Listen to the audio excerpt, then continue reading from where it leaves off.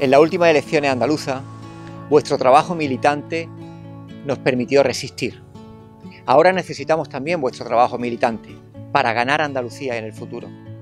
Quienes trajisteis la democracia con vuestro activismo, quienes resististeis a los cantos de sirena del neoliberalismo y quienes os habéis politizado tras el 15M.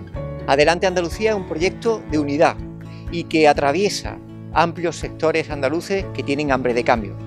Pero es determinante vuestro trabajo, igual que lo fue hace tres años y medio, antes para resistir, ahora para ganar Andalucía. Solo os pido vuestro compromiso como siempre, que es el mejor tesoro que tenemos en Izquierda Unida. Un abrazo.